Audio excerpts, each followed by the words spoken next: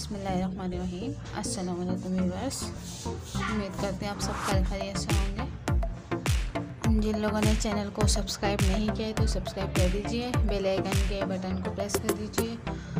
और आज मैं बना रही हूँ खड़े मसाले का गोश्त। यह हाफ़ के जी गोश्त है हमारा।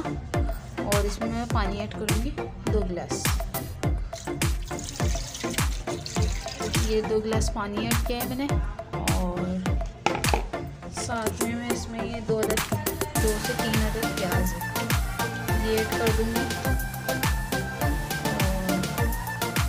इसके अलावा ये साबुत गाजर सॉरी अदरक, लहसुन साबुत कटा हुआ और ये साबुत धनिया और लौंग, काली मिर्चें और ये दालचीनी, ये सब हम इसमें ऐड कर देंगे सारी चीज़ें साबुत ऐड करेंगे हम इसके अंदर। बिल्कुल। ये तीन अदद में तेज़पत्ते पत्ते ऐड करूँगी इसके अंदर।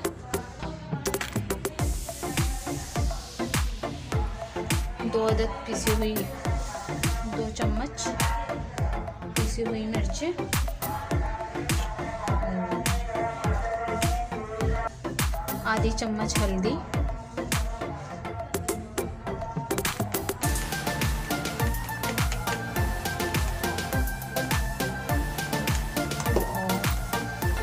एक चम्मच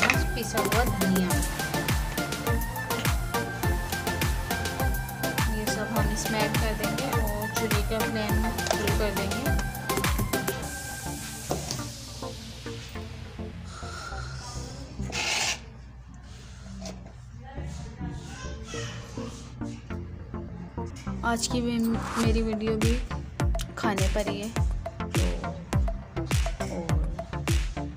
आप लोग ज़रूर बताया करें कमेंट्स में मेरी वीडियो कैसी लगती है आप लोगों को।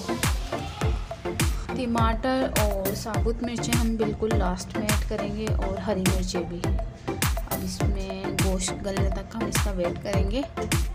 कम अज़ कम पंद्रह से बीस मिनट उससे ज़्यादा भी टाइम लग सकता है गोश्त गलने में। और हमारा गैस भी काफ़ी हल्का आ रहा है तो देखते हैं जब गोश्त गलेगा। गोश्त हमारा बनाए पर आ चुका है, टमाटर में इसमें ऐड कर चुकी हूँ। दो दो से तीन अदद में इसमें टमाटर ऐड किए हैं, और साबुत मिर्च ऐड किए हैं अच्छा चार से पाँच। और अब ये भुनाई पर आ चुका है। इसकी अच्छी तरीके से हम भुनाई करेंगे और साथ में ऊपर से हरी मिर्ची ऐड करेंगे।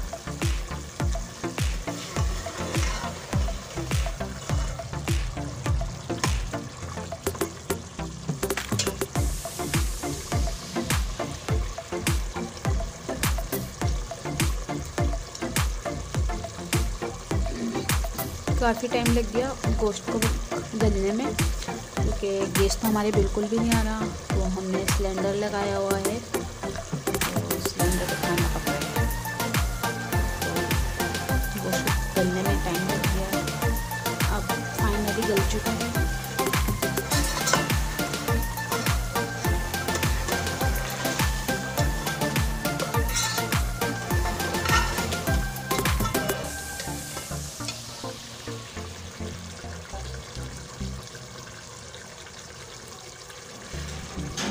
और एंड में इसका लुक पता चलेगा कैसा है।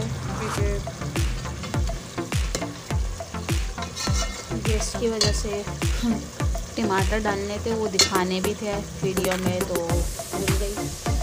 तो चले खैर वैसे आपको अंदाज़ा होना चाहिए कि हाफ़ के जी घी में हाफ़ के जी गोश्त में कितने टमाटर ऐड होते हैं। मतलब सब अपने हिसाब से ऐड करते हैं। मैंने तीन ऐड किए हैं। यहाँ कोरंगी साइड पर काफ़ी गिर जाता है, बहुत परेशानी देती है सर्दी में खाना बनाने की। सिलेंडर में तो खाली सालन ही बन सकता है रोटी बन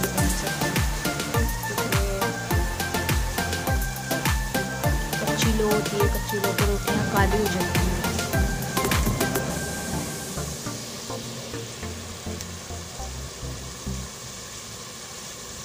से हमने पक्की भरवाई थी, लेकिन इसमें फिर भी काला हो गया हमारा भगोना बहुत मेहनत लगेगी इसको साफ़ करने में।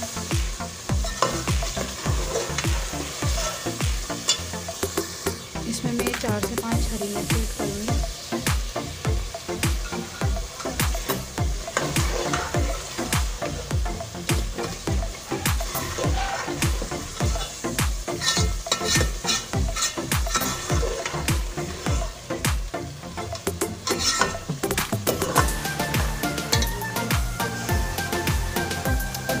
आप लोग दुआ कीजिए कि मेरे हस्बैंड की जॉब लग जाए।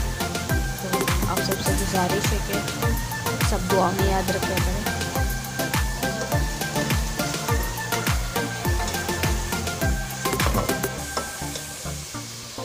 ये देखिए, ये ऑयल के ऊपर आना शुरू हो गया हमारा।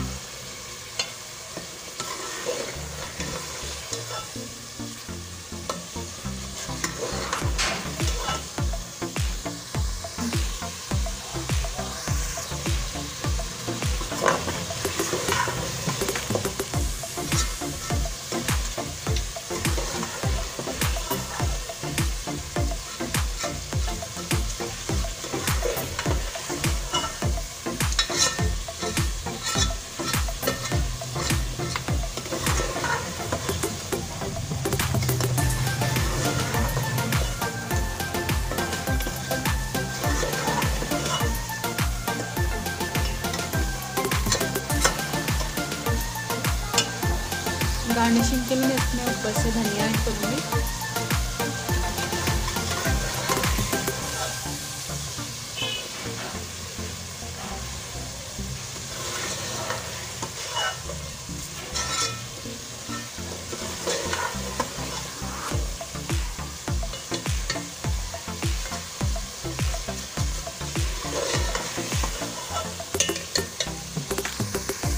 ये फाइनली हमारे सालन की बुनाई हो चुकी है।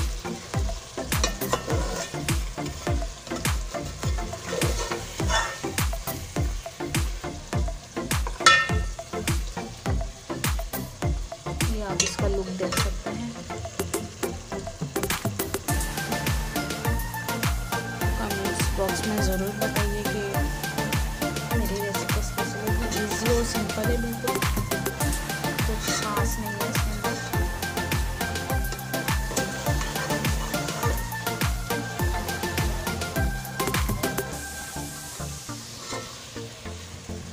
मसाले भी सब वही ऐड हैं। चले तो आप दुआओं में याद रखिएगा। और ये हमारी रेसिपीज़ कंप्लीट हो चुकी है। और चैनल को सब्सक्राइब कर दिएगा जिन लोगों ने सब्सक्राइब नहीं किया हुआ ताकि आने वाली मेरी वीडियो मिल सके आप लोगों को।